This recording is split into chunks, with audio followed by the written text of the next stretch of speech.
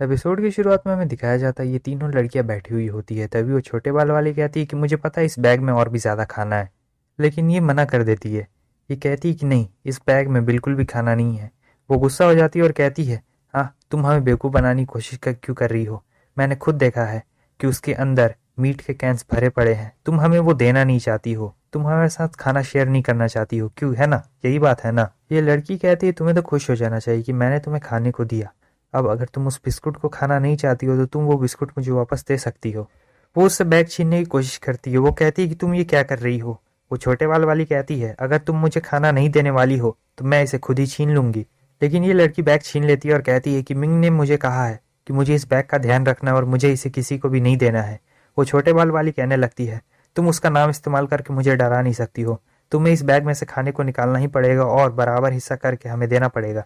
Teacher आती और कहती कि तुम शांत हो जाओ। ऐसा नहीं है कि वो इस खाने को अपने लिए ही रख रही है। वो हमारे साथ बाद में इस खाने को बांटेगी। तुम ज़रा शांत हो जाओ, लेकिन अभी भी बहुत गुस्से में होती है और कहती है कि ठीक है, जाओ। तुम अपने इस कुत्ते जैसे खाने को अपने पास ही रखो और इसे ही अपनी रखवाली करते रहो, जाओ। और इधर ये अपने मन में सोच रही होती है, ये लड़की बहुत ज़्यादा घमंडी और काफ़ी बुरी भी है। मुझे तो इसे खाने के लिए देना भी नहीं चाहिए था। आपको क्या लगता है, कमेंट सेक्शन में ज़रूर बताएँ। टीचर उसे प्यार से समझा रही होती कि देखो, ये खाना हमारा नहीं है। और वैसे भी इसने अपने खाने को हमारे साथ शेयर किया है तो हमें तो इनका शुक्रिया अदा करना चाहिए। और वो बोल रही होती है, टीचर को तो सिर्फ़ बातें बोलनी ही आती है, और कुछ भी नहीं। और वो बैठ के सोच रही होती है, टीचर बहुत ज़्यादा दयालु है, ये किसी पे भी भरोसा कर लेती है। हमें इस वक्त सिर्फ़ अपने बारे में सोचना चाहिए, हमें इनसे ये सारा खाना छीन लेना चाहिए, और वैसे भी किसे पता, वो मिंग, उस, उसके ऊपर कौन निर्भर रहेगा? किसे पता है कि वो वापस आएगा भी या फिर नहीं आएगा? इस तरफ़ है मिंग को दिखाया जाता है, जिसे छींक आने लगती है। वो लेडी ऑफिसर कहती, क्या तुम ठीक हो? कहीं तुम्हें जुकाम तो नहीं हो गया ना? वो कहता, नहीं नहीं, मैं ठीक हूँ। लगता है कोई मुझे याद कर रहा है। और वैसे भी मुझे ऐसा लग रहा है कि इस जगह में बहुत सारे अच्छे अच्छे रिसोर्सेस हैं। तो चलो, हमें उन सारी चीज़ों को ढूंढना होगा। वो पुलिस ऑफिसर कहते हैं चलो, हमारे पास फ्लैश लाइट है, वरना हम अंधेरे में देख नहीं पाते। इससे आसान हो जाएगा। लेकिन मिंग कहता, नहीं फ्लैश लाइट को ऑफ़ कर दो। वो अंधेरे में ज़्यादा अच्छे से मिल जाएगा। और फिर ढूंढते ढूंढते मिंग को एक चमकीली चीज़ मिली जाती है। और जैसे वो उन सारे पत्थरों को हटाता है उसे वो डंजन की फाइनली अब मिल चुकी है। इस तरफ़ ये पुलिस ऑफिसर भी काफ़ी खुश होती है और कहती है, चलो, बहुत अच्छा हुआ। तुम काफ़ी देर से इसे ढूंढ रहे थे और तुम्हारे चेहरे पर खुशी भी ज़ाहिर हो रही है। तभी पीछे से एक बड़ा सा मोस्टर आता है और वो पुलिस ऑफिसर को पकड़ लेता है। वो उसे खाने जा रहा होता है, लेकिन तभी मिंग आता है और उसके उस जीप को काट डालता है। उसके बाद फिर मिंग से वापस से जाता है और उस पर हमला करता है। वो सोच रहा होता है, चलो अच्छा है। मैं पावर अप हो चुका था, वरना मैं अभी इसके फिजिक को काट नहीं पाता। वो मॉन्स्टर मिंग और उन पर हमला करता है, लेकिन वो सभी लोग उसके हमले से बार बार बच रहे होते हैं। उसके बाद मिंग सीधा उठता है और उस मॉन्स्टर के पीछे से आता है और उसके आँख में अपना डैगर घोप डालता है। अब मिंग को काफ़ी थकावट हो रही होती है क्योंकि इतने बड़े मॉन्स्टर से लड़ने में उसका बहुत सारा स्टेमिना खर्च हो रहा था तो वो ज़्यादा हिलडुल नहीं पा रहा था। तभी हम देखते हैं कि वो मॉन्स्टर हमला करने के लिए आता है, लेकिन येलो मिंग को बचा लेता है। मिंग कहता है, तुम ये क्या कर रहे हो? तुम्हें यहाँ से हट जाना चाहिए। वो मॉन्स्टर हमला करने के लिए आ रहा होता है। मिंग कहता है येलो यहाँ से हट जाओ। ये तुम्हारे लिए बहुत ज़्यादा खतरनाक हो सकता है, लेकिन ये लो हटता नहीं है।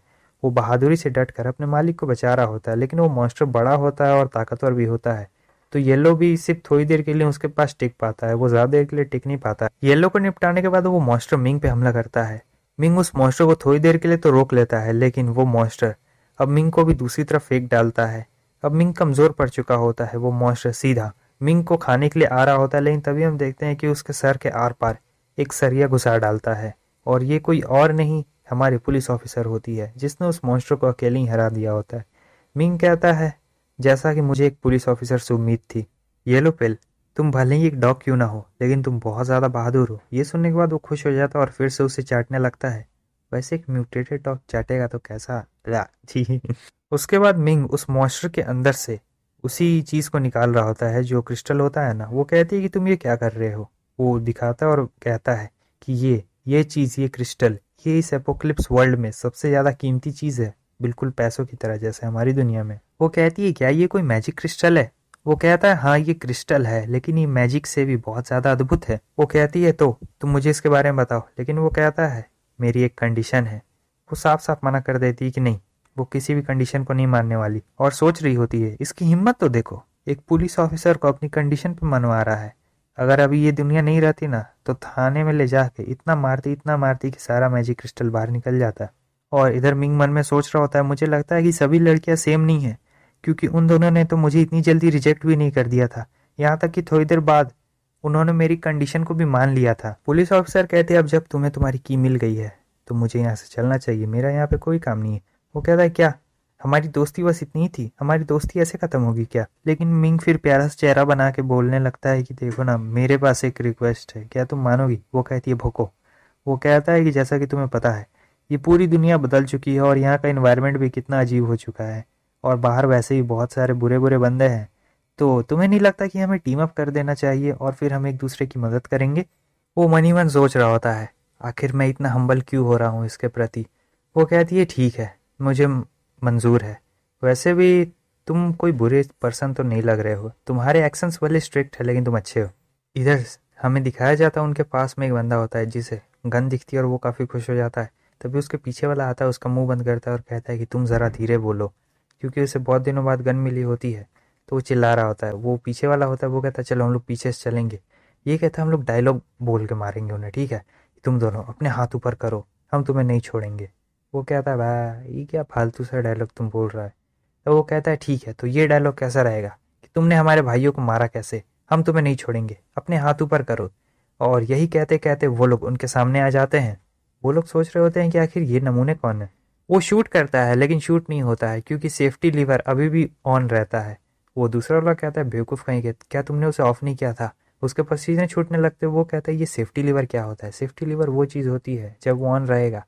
तब गन फायर नहीं होता है। ये लोगों की सुरक्षा के लिए इसे ऑन करके ज़्यादातर रखा जाता है, इसे ऑफ़ करना पड़ता है।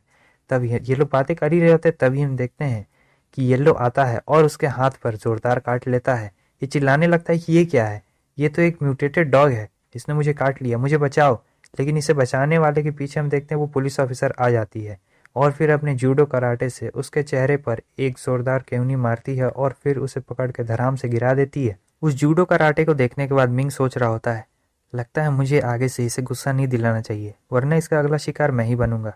अब फिर हम देखते हैं कि वो उन दोनों बंदों को बाँध देता है और फिर पूछता है कि बताओ, तुम्हें किसने भेजा है? ये बताता है कि, सुनो ना, सबसे पहले तुम मेरे इस हाथ की ब्लीडिंग को रोक दो तो मैं तुम्हें सारी बातें सब सब सब सच सच बता दूँगा, ठीक है? लेकिन मिंग कहता है, देखो, अगर तुम्हें उस ब्लीडिंग के कारण मरना नहीं है तो तुम मुझे बताओ। इस तरफ़ हमें बिग ब्रदर को दिखाया जाता है, जो कि अपने चेले से, उन सारे जॉम्बिस के सर पर जो क्रिस्टल लगा हुआ होता है, उसे निकाल रहा होता है। वो पूछता है कि आखिर ये क्या बेकार सी चीज़ है, और हमें इसे निकालना क्यों पड़ रहा है? चलो ना, चल के सो जाते हैं। लेकिन वो उसके सर पर मारता है और कहता है कि चुपचाप ये काम करो।